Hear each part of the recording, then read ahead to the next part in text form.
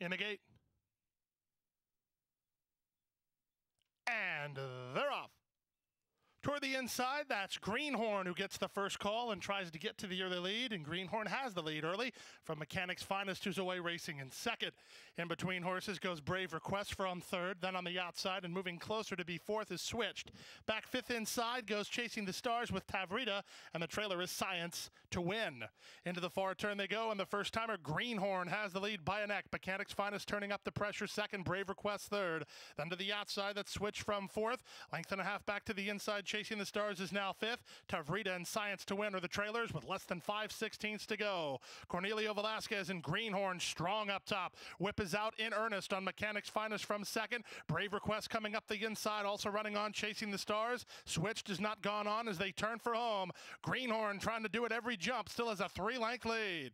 From the back, Chasing the Stars is in full gear and moving inside is Brave Request from third. There's a 16th of a mile to run, and it's all Greenhorn.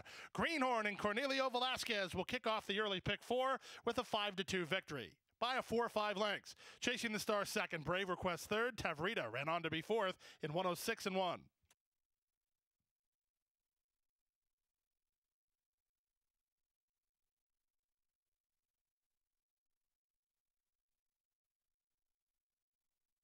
Perfecta, daily double and pick three wagering.